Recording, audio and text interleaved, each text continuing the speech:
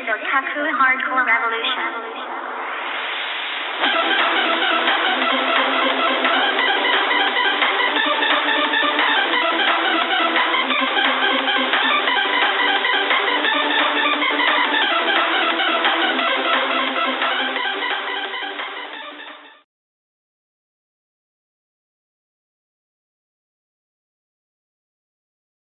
This is Otaku Hardcore Revolution 2.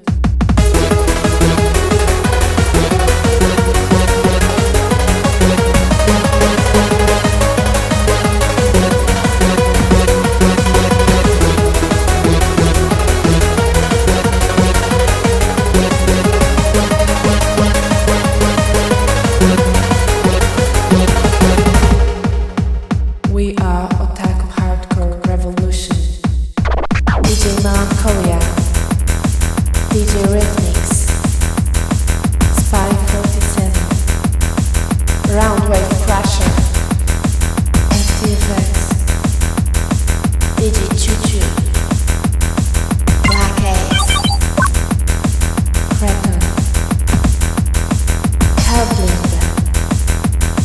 DJ Sharpnel,